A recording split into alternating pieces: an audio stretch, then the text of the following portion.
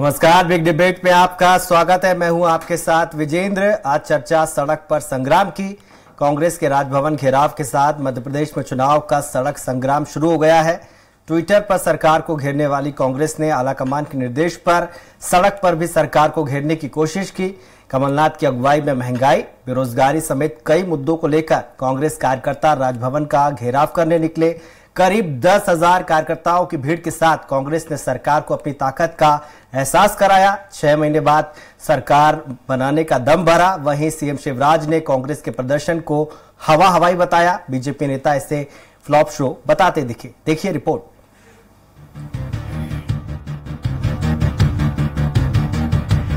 लंबे समय बाद कांग्रेस के नेता सड़क पर थे। आंदोलन कांग्रेस आला कमान के निर्देश पर था, लेकिन इससे मध्य प्रदेश में सत्ता का मार्ग प्रशस्त करने के लिए सुबाई बनाने का प्रयास साफ़ दिखा। टारगेट पर एमपी सरकार थी तो नजरे मुख्यमंत्री की कुर्सी पर। प्रदर्शन पहले से तय था तो राजभवन से पहले रंगमहल चौराहे पर पुलिस ने बैरिकेड लगा रखे थे। पुलिस यहाँ कांग्रेस नेताओं को रोकने में फेल रही। कार्यकर्ता बैरिकेड तोड़ते हुए आगे बढ़ गए। कार्यकर्ता पैदल, जबकि कमलनाथ, नेता प्रतिपक्ष डॉक्टर गोविंद सिंह और दूसरे बड़े नेता ट्रक पर सवार होकर आगे बढ़े। पुलिस ने विधायक जीतू पटवारी, कुणाल चौधरी समेत 50 कार्यकर्ताओं को गिरफ़्तार किया। कार्यकर्ताओं को तीन बसों में भरकर पुलिस प्रदर्शन स्थल से लेकर रवाना हो गई। डीसीपी साई कृष्ण थोटा के मुताबिक प्रदर्शन में 5000 की भीड़ थी। गिरफ्तारी के बाद कांग्रेस नेता और कार्यकर्ता पीछे हटना शुरू हो गए। इस बीच कमलनाथ भी कार से रवाना हो गए। कांग्रेस का प्रदर्शन करीब दो घंटे चला।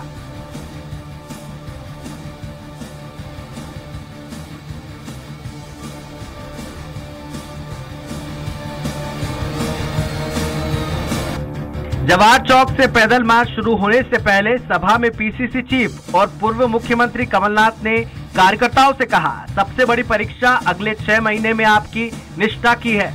नेता प्रतिपक्ष डॉक्टर गोविंद सिंह ने कहा, आज पूरे प्रदेश में बदलाव की लहर है। बेईमान सरकार को उखाड़ने के लिए ये प्रदर्शन है। जीतू पटवारी बोले, मैंने किसानों को तीन हज़ार रूपए क्विंटल गेहूँ का दाम देने की मांग की तो मुझे विधानसभा से निलंबित कर दिया। सरकारी पैसे से भाजपा दफ्तर में खाना खिलाने की बात उठाई, मैंने गलत किया क्या? अब की बार बीजेपी 50 के पार नहीं पहुंचेगी। जेपी अग्रवाल बोले, कांग्रेस के कार्यकर्ता बीजेपी से डरते नहीं, अंग्रेज़ों को मार मार कर इन्हीं कांग्रेस के कार्यकर्ताओं ने भगा दिया था। आपकी निष्ठा आपको यहाँ खींच लाई है और यही निष्ठा, यहाँ कोई पुरस्कार नहीं मिलना, यहाँ कोई ठेका नहीं मिलना, यहाँ कोई कमीशन नहीं मिलनी। ये तो आपकी निष्ठा है जो आपको खींच के लाई है और सबसे बड़ी परीक्षा सबसे बड़ी परीक्षा अगले छह महीनों में आपकी निष्ठा की है। इधर बीजेपी के नेता ट्विटर पर इस प्रदर्शन को फ्लॉप शो बताते दिखे। मुख्यमंत्री ने कहा किसी भी बहाने हल्ला करना कांग्रेस का मकसद बन गया है। खिसियानी बिल्ली खंबा नोचे रहना विधानसभा में चाहिए। लेकिन किसी न किसी बहाने केवल हंगामा खड़ा करना अब कांग्रेस का मकसद रह गया है। भोपाल में कांग्रेस के प्रदर्शन के बाद प्रदेश कांग्रेस अध्यक्ष कमलनाथ ने इसमें शामिल कार्यकर्ताओं का अभिनंदन किया। उन्होंने ट्वीट किया कि कांग्रेस के कार्यकर्ता का हौसला दो गुना हो गया है।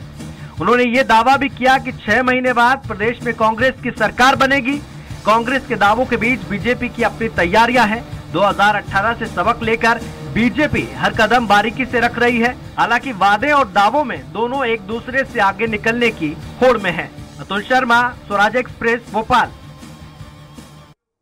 इस पर ज़्यादा चर्चा के लिए मौजूद है हमारे साथ शैलेंद्र जैन, हमारे साथ कुछ देर में होंगे विधायक है बीजेपी के सुरेश राजे साहब, हमारे साथ विधायक मौजूद हैं स्टूडियो में, उनका बहुत बहुत स्वागत है। हमारे साथ होंगे योगीराज योगेश जी, वरिष्ठ पत्रकार। राजेश जी, आपसे पहला सवाल, सीएम कह रहे हैं कि आपको विधानसभा में होना चाहिए, आप लोग सड़कों पर हैं। नहीं शायद सीएम साहब ने देखा नहीं। हम लोग विधानसभा में भी थे। विधानसभा की कार्रवाई विधिवत जब चल रही थी तो हम सदन में थे। जी। लेकिन हमारा प्रदर्शन पहले से तय था। और ये प्रदर्शन क्यों करना पड़ा? ये सीएम साहब भी बहुत भली बात जानते हैं। जब बे बजे की बात पर जिसका कोई औचित्य नहीं जी। और सदन नहीं चलने देना सिर्फ़ कुल मिला के विपक्ष के विधायक सदन में अपने प्रश्न न पूछें। इसलिए सदन को किसी न किसी बहाने से कहने को तो एक महीने का सदन था लेकिन हमें नहीं लगता कि इस पूरे एक महीने के सदन के कार्यकाल में दस बैठकें भी हमारी हो पाएँगी। जी। ये मंशा है सत्ताधारी दल की। और ये कहना ठीक नहीं है कि हम सदन से भागना चाहते हैं या हम सदन चलाना नहीं चाहते। अरे जिम्मेवारी जिनके कंधों पर है सदन चलाने की वो हम पर तोहमत लगा रहे हैं कि सदन में होना चाहिए। आप तो देखो ना हमको तो जिस दिन से ये दायित्व मिला है सौ में सौ परसेंट हाजिरी होगी मैं आपके माध्यम से आप रिकॉर्ड में देख लें। एक मिनट एक घंटे भी हम नदारत नहीं रहे होंगे सदन से। जी। ये हम सदन के प्रति हमारी जिम्मेवारी बनती है हम उसको बखूबी निभा रहे हैं। जी। और आपको क्या लगता है कि 2023 में कौन से मुद्दे होंगे जिसके बूते आपकी सरकार बनेगी? देखिए अब तेईस में तो मुद्दे ही मुद्दे हैं। अब किस मुद्दे की बात करूँ? सबसे पहला मुद्दा ये जो सरकार है वर्तमान में जो सरकार चल रही है ये भारतीय जनता पार्टी का नेतृत्व भी जानता है कि जनादेश की सरकार नहीं थी। ये कैसे जोड़ तोड़ करके और क्या क्या करके क्या क्या इसमें घालमेल किया और ये सरकार इन्होंने मतलब लोकतंत्र में विश्वास नहीं था जल्दबाजी थी। पाँच साल को जनादेश मिला था कमलनाथ जी को चलने देते। क्या दिक्कत थी? लेकिन नहीं हमको चलने देना ही नहीं था। लोकतंत्र में भरोसा नहीं संविधान में भरोसा नहीं और इसकी तोहमत किस पर? बोले कांग्रेस नहीं चाहती कि सदन चले। कांग्रेस नहीं चाहती कि अब ये बताइए साहब हमारे विधायकों की बात सदन में सुनी नहीं जाती। अगर एक विधायक प्रश्न पूछे और मंत्री को जवाब देना चाहिए मंत्री का एक रटा रटाया जवाब है कोई भी मंत्री हो। जी। देखेंगे देख रहे हैं जाँच चल रही है। एक प्रश्न के जवाब में आज हमारे एक विधायक महिला विधायक महोदय ने प्रश्न पूछा। तो मंत्री महोदय जवाब दे रहे थे कि इसके एवज में ये जाँच चल रही कब से जाँच चल रही तीन साल से। तो हमारे विधायक महोदय ने पूछा कि तीन साल से जाँच चल रही है अब तक कोई नतीजा नहीं आया। आने वाले छह महीने बाद चुनाव है तो क्या ये जाँच अगले आने वाली जो सरकार होगी उसके पाँच साल तक चलेगी? अब ये औचित्य का सवाल है साहब। अब अगर हम इन मुद्दों को उठाते हैं सरकार सदन से भागना चाहती है और तोहमत लगाती है कि विपक्ष और कांग्रेस के विधायक सदन नहीं चलने देते। आप तो देखिए ना। जी। हमारी कहाँ मंशा नहीं है सदन चलाने की हम तो चाहते हैं। दिग्विजय सिंह जी के समय में साठ साठ दिन की बैठकें होती थी। जी। दो दो ढाई ढाई महीने सदन चलता था। आखिरकार कहाँ गए वो दिन? ये कैसी परंपरा है? ये कैसा लोकतंत्र का मंदिर जिसे हम कहते हैं? जनता हमें वहाँ इसलिए भेजती है हम जनता के मुद्दे उठाएँ। और हजूर अगर पाँच दिन का सदन चलेगा पाँच दिन में दो दिन में दो दिन के बाद सदन खत्म कर दिया जाएगा निश्चित काल के लिए तो आखिरकार हम जनता को क्या जवाब दें? कि आपको किस लिए चुनकर भेजा है? आप हमारी बात ही नहीं उठाते वहाँ। तो ये विषय ये है। और ये ये कहना ठीक नहीं है। और जहाँ तक शिवराज जी का सवाल है तो बहुत दिन याद करें नब्बे से पहले के। शिवराज जी भी इस तरह के आंदोलन कर करके यहाँ तक पहुँचे हैं। सीधे नहीं पहुँच गए। जी, जी। और विपक्ष का दायित्व है हमारा कर्तव्य है हमारी ड्यूटी बनती है कि हम सरकार को गलत नीतियों और गलत दिशा में जाने से रोकें। ये हमारा कर्तव्य है। कमलनाथ जी ने कहा है कि छह महीने कार्यकर्ताओं की निष्ठा के होंगे। यहाँ पर जो प्रदर्शन हुआ है वो किसी ठेके के लिए नहीं हुआ है पद के लिए नहीं हुआ है। तो एक गुटबाजी आपकी पार्टी की पुरानी समस्या है। तो क्या एक मैसेज है कार्यकर्ताओं को कि एकजुट होकर चुनाव लड़ना है? देखिए साहब जहाँ तक सवाल गुटबाजी का है अब इसमें क्या कहूँ? मेरे से बेहतर आप सब जानते हैं। जी। हमसे कहीं ज़्यादा गुटबाजी है वहाँ जो सत्ता में बैठे हैं। हमारे गुट की चिंता न करें। जी। हमारे यहाँ तो गुट है ही नहीं। हमारे यहाँ तो एक नेता है सम्मानित कमलनाथ जी। उनके नेतृत्व में चुनाव होगा। कमलनाथ जी को हम सब मिलकर जी। सीएम बनाएँगे। और इसलिए हमारे यहाँ किंतु परंतु कोई स्थान नहीं है। और ये देखिए ये तो ठीक है कांग्रेस में कुछ तोहमत लगाने को नहीं बनना तो उन्होंने कहा यही कर दो। अब मैं यहाँ आपके यहाँ बैठ के कितने नाम गिना दूँ कि इनके यहाँ कितने गुट हैं? आप बताएँ हमारे यहाँ काय का गुट है? हमारे यहाँ कोई गुट नहीं है। हमारे यहाँ एक गुट है कांग्रेस पार्टी हमारा गुट है।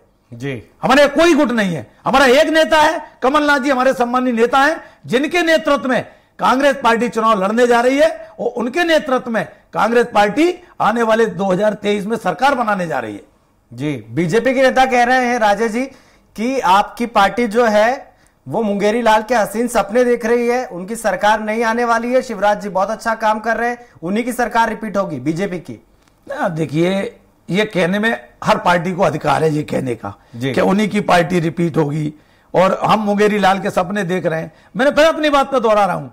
अगर शिवराज जी को अपनी नीतियों के बारे में इतना ही भरोसा था अपने पंद्रह साल के कार्यकाल पर इतना ही भरोसा था तो जनादेश कमलनाथ जी को मिला था कांग्रेस पार्टी को मिला था। जी। पाँच साल इंतज़ार करते और फिर जनता जवाब देती फिर ये जनता की अदालत में जाते और पूछते कि नहीं ये कमलनाथ जी के पाँच साल का हिसाब ये है और पंद्रह साल का शिवराज जी का हिसाब ये है। तो ये दोनों में अंतर नज़र आता। पंद्रह महीने की हमने सरकार चलाई मात्र पंद्रह महीने जिसमें चार महीने हमारे चुनाव में चले गए। और ग्यारह महीने की सरकार का हिसाब हमसे कौन मांग रहा है? जो लगातार 18-19 साल से सत्ता में बैठे हैं वो हमसे हिसाब मांग रहे हैं। जो लगातार आठ से नौ वर्ष से केंद्र में बैठे हैं वो साहब हमसे 11 महीने की सरकार से हिसाब मांग रहे हैं। हम तो उसको भी देने तैयार। हैं। आप तो दे दो 18 साल का हिसाब। ये जो नौकरियाँ निकाल हो ना छह महीने पहले ये खिलवाड़ है नौजवानों के साथ। क्या हमने इतनी नौकरियाँ निकाल दी? छह महीने में क्या नौकरी निकालोगे आप? दोबारा आऊँगा आपके पास योगीराज योगेश जी का स्टूडियो में स्वागत करते हुए उनसे मेरा पहला सवाल होगा। योगी जी कैसे देखते हैं आज जो प्रदर्शन किया कांग्रेस ने? एक गुटबाजी एक पुरानी परेशानी रही है लेकिन कमलनाथ जी ने बोला है कि अगले छह महीने आपकी निष्ठा के हैं? निष्ठा दिखानी होगी पार्टी के लिए। नहीं बिल्कुल सही बात है। कांग्रेस के लिए तो अब ये एक करोड़ मरो की स्थिति है। और ये बहुत बेहतरीन उनके पास अवसर था एकजुटता का। और मुझे ऐसा लगता है कि कांग्रेस ऐसा नहीं कि इस मामले में थोड़ी सफल भी हुई केवल एक दिग्विजय सिंह जी को छोड़ दिया जाए।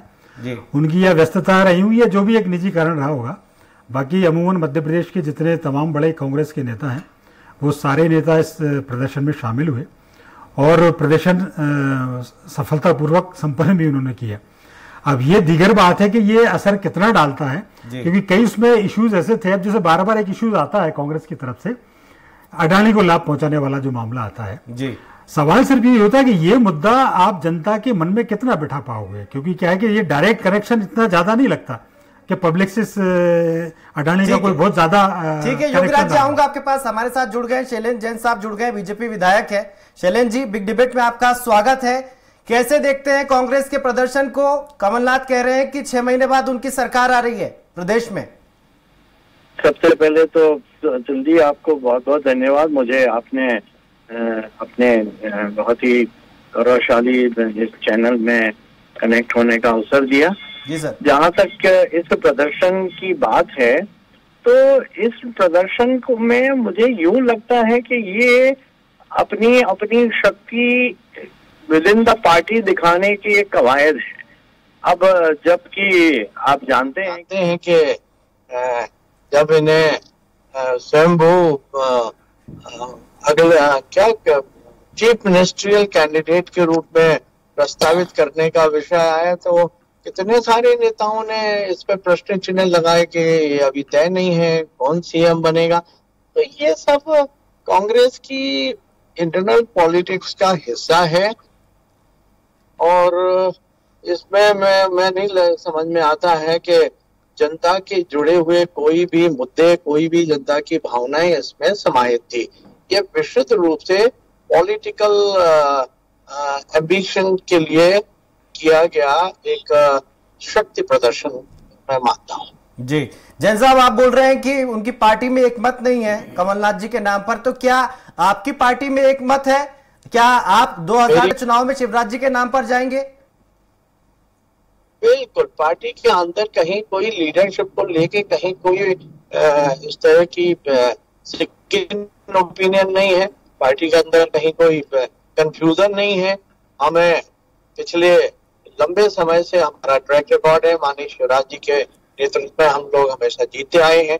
और 2018 में भी कांग्रेस पार्टी की तुलना में भारतीय जनता पार्टी ने अधिक मत प्राप्त किए थे। जी। वह अंक के हिसाब से भले बीजेपी कुछ सीटों कांग्रेस को भी बहुमत नहीं मिल पाया। तो ये कहना भी उचित नहीं होगा कि कांग्रेस को मैंडेट मिला या जनता का वो मिला। तो ये सिचुएशन अलग टाइप की थी। लेकिन शिवराज जी एक अ, हमारे एक जन नेता है मध्य प्रदेश में उनका कोई विकल्प नहीं है और हम सब लोग उनके नेतृत्व में चुनाव लड़, लड़ने वाले हैं। पर जैन साहब अब आप कह रहे हैं कि लीडरशिप में आपकी पार्टी में कोई कंफ्यूजन नहीं है तो फिर आपकी पार्टी के कई नेता क्यों बोलते हैं कि गुजरात मॉडल लागू होना चाहिए भूपेंद्र भूपेंद्र जैसे सीएम का कोई नाम आना चाहिए यहाँ पर ताकि चुनाव जीता जा सके एमपी में? अब ये विषय कहाँ से आया है? कौन इस विषय को लेके आए हैं? इसमें मेरे को कोई आइडिया नहीं है। महासचिव कैलाश विजयवर्गीय जी बोल चुके हैं कि एमपी में भी गुजरात मॉडल लागू होना चाहिए। तो ये प्रश्न आप उनसे ज़रूर करिएगा कि गुजरात मॉडल आना चाहिए तो क्यों आना चाहिए। लेकिन जहाँ तक मेरा व्यक्तिगत अभिमत है मैं मेरी स्पष्ट मान्यता है कि शिवराज जी के नेतृत्व में हम सब लोग अगला चुनाव लड़ेंगे। और ठीक है ठीक है इस रिएक्शन ले लेते हैं। हमारे साथ राजेश साहब हैं वरिष्ठ विधायक हैं। राजेश जी कैसे देखते हैं वो कह रहे हैं आपके यहाँ तो लीडरशिप पे कंफ्यूजन है आप कैसे चुनाव लड़ेंगे फिर बीजेपी के खिलाफ?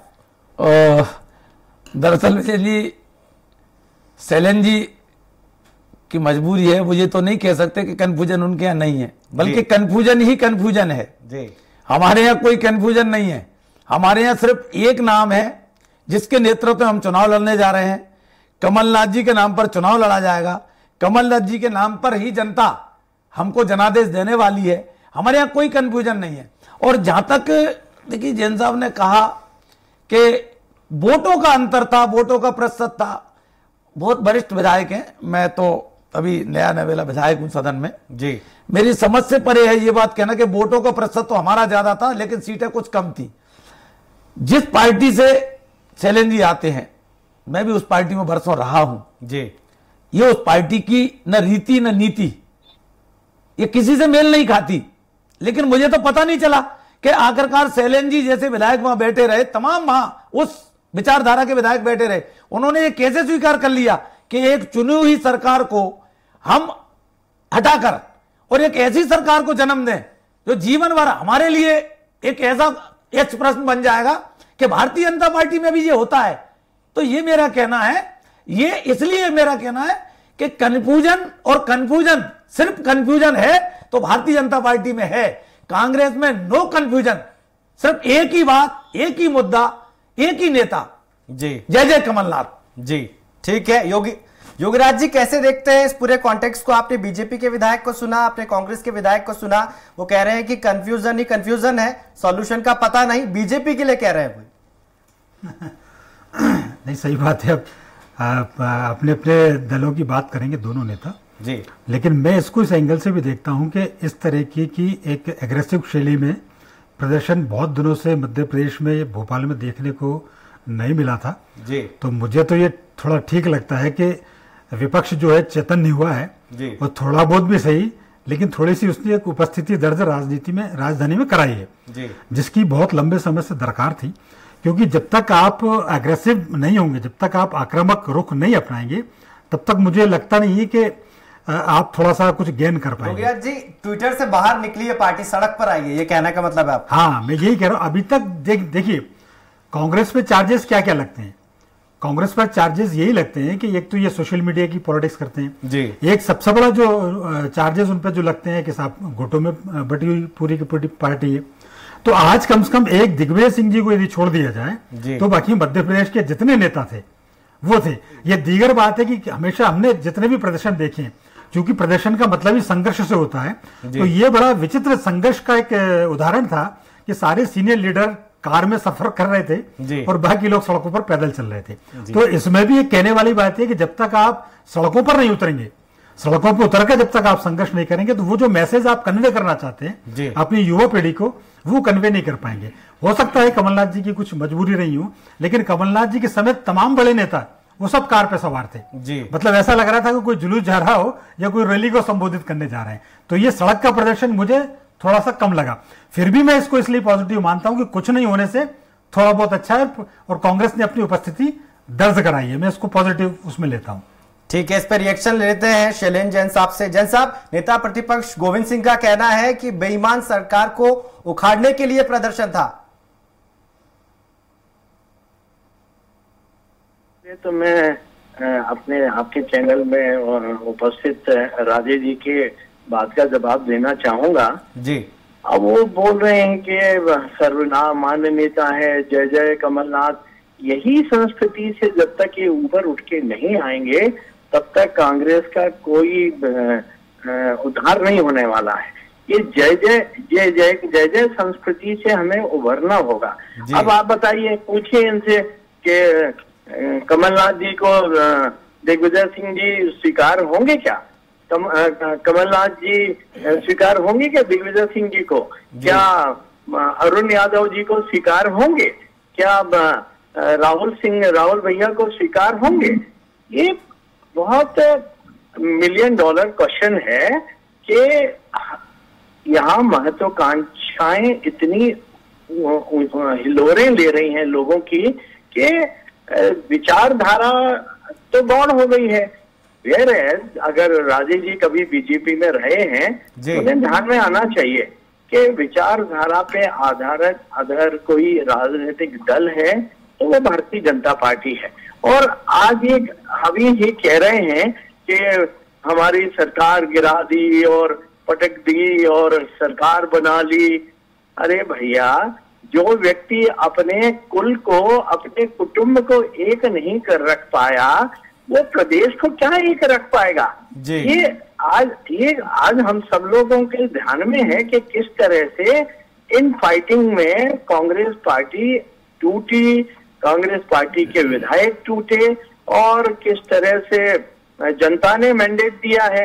ये कोई ऐसा नहीं है कि इतने विधायक आके और बीजेपी में मिल गए और सरकार बना ली।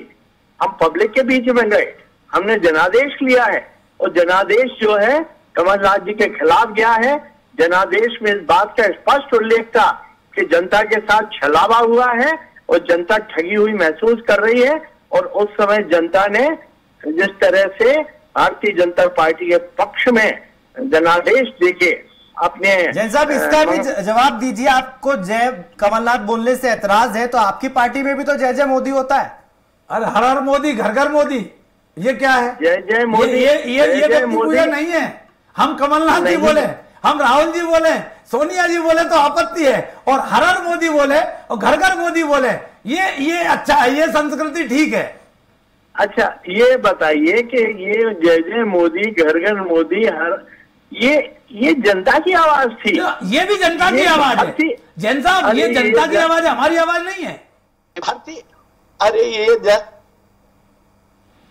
आप जाओ तो अभी आपने विकास यात्रा निकाली क्या स्थिति बनी? विकास यात्रा में हमारा बहुत बढ़िया अनुभव रहा। हमने पूरे विधानसभा की पैदल यात्रा की और लोगों का आत्मसंतुष्टि का भाव परिलक्षित हो रहा था। उनके चेहरों से भारतीय जनता पार्टी की नीतियों के प्रति लोगों ने सम्मान व्यक्त किया। मुझे नहीं लग रहा है कि आप कहाँ की बात कर रहे हैं। जी। ठीक है राजा साहब इस पे जवाब दीजिए। एक सवाल और है कि आपकी पार्टी के बारे में बीजेपी के कई नेता बोलते हैं कि आपके पास मुद्दे ही नहीं है दिवालियापन है मुद्दों का आपके पास।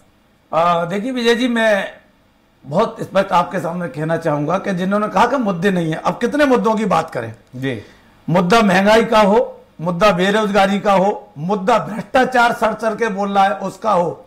और मुद्दा चाहे एक बात बताओ बेरोजगारी खत्म करने के लिए 20 साल कम थे 19 साल कम है। महँगाई पर काबू पाने के लिए 19 साल कम है।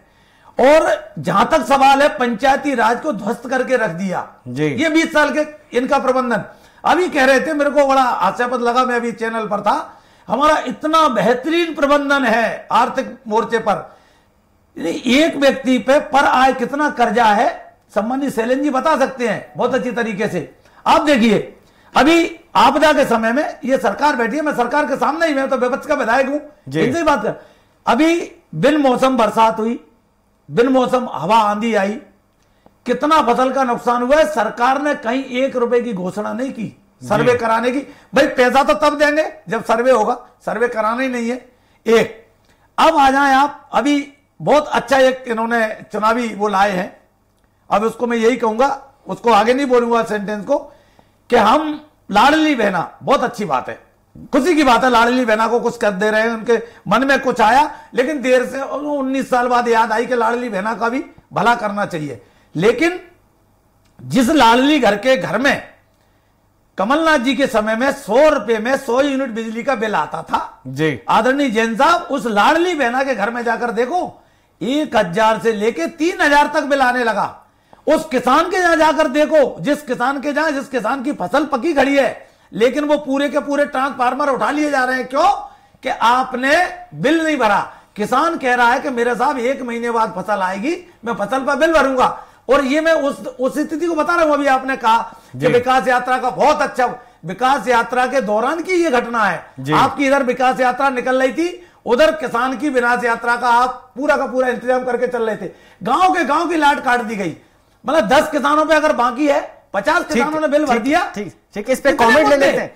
आप तो योगेश जी से कमेंट विजय जी। कितने मुद्दे? ये मुद्दे नहीं है। हम कह रहे हैं मुद्दों का पिटारा है हमारे पास। भारतीय जनता पार्टी के खिलाफ। ठीक है भारतीय जनता पार्टी आपके किस मुद्दे पास। को लेकर चुनाव में जाएगी? योगेश जी कैसे देखते हैं? कांग्रेस कह रही है बहुत सारे मुद्दे हैं बीजेपी कह रही है मुद्दे ही नहीं है हमारी सरकार रिपीट होने वाली है। ये तो अपने अपने दावे हैं। कोई भी ये थोड़ी कहेगा कि साहब हमारी सरकार नहीं आएगी। जी। और ये बात सही है कि इस, ये इसके पक्ष में सरकार के पास मतलब लॉजिकली बात है उनकी। और कई चीज़ जो इन्होंने गेम चेंजर स्कीम जिनको कहा जा रहा है उसमें गेम चेंजर स्कीम ये भी कहा जा रहा है लाडली बहना। इसके अलावा एक गेम चेंजर स्कीम ये भी है कि जो शिवराज जी ने जो लोगों को रहने की आवास अ, भूखंड की जो योजना शुरू की है तो डेफिनेटली ये कहीं ना कहीं बहुत बड़ा और दूरगामी प्रभाव डालती है लोगों पर। और वो आदमी जो गरीब जिसके घर में रहने को जगह नहीं थी उसको यदि आप 600 स्क्वायर फीट का टुकड़ा दे रहे हो रहने के लिए मकान बनाने के लिए तो ये कहीं ना कहीं सरकार के लिए बेनिफिट होता ही होता है। ऐसे ही लाडली बहना भी कहीं ना कहीं बेनिफिशियल साबित होगी ही होगी। लेकिन इसके अतिरिक्त ये बात सही है कि गाँव में आज भी बिजली का घनघोर संकट है। और ये बात सही है कि एक गाँव में ठीक है चार लोगों के ठीक है समय का अभाव है सर। आखिरी कमेंट चाहूँगा शैलेन जी से। शैलेन जी दिग्विजय सिंह प्रदर्शन से नदारत रहे कैसे देखते हैं आप इसे? ये वैसा ही बात है जिसकी हम पहले अपने आपके इंटरव्यू के पहले ही से मैं कह रहा हूँ कि पार्टी के अंदर इन फाइटिंग बिल्कुल ज़ोर शोरों पे है। दिल्ली के चक्कर लग रहे हैं अपने आप को नेता स्थापित करने की होड़ बनी हुई है छत्रप हैं। ये अलग अलग क्षेत्रों के अलग अलग नेता जी। ऐ- ऐसे में पार्टियाँ नहीं चलती विचारधारा से पार्टियाँ चलती हैं। और अगर आदमी का अंतिम लक्ष्य सिर्फ़ सत्ता प्राप्त करना है तो मैं समझता हूँ आपको टोकना चाहूँगा समय का अभाव है आप तीनों मेहमानों का बहुत बहुत शुक्रिया। शैलेन जैन साहब हमारे साथ, विधायक जुड़े थे बीजेपी के, आपका बहुत बहुत शुक्रिया। राजे साहब, आपका बहुत बहुत शुक्रिया। योगीराज जी, आपका बहुत बहुत शुक्रिया। राजनीति में विरोध प्रदर्शन के लिए विपक्ष अपनी शक्ति का एहसास सरकार को कराने की कोशिश के तौर पे करता है, लेकिन बड़ा सवाल यह है, विपक्ष का विरोध, जनता का विरोध बनेगा या विपक्ष की तमाम कोशिशें धरी की धरी रह जाएँगी? फ़िलहाल बिग डिबेट में आज के लिए इतना ही। आप देखते रहिए स्वराज एक्सप्रेस। नमस्कार।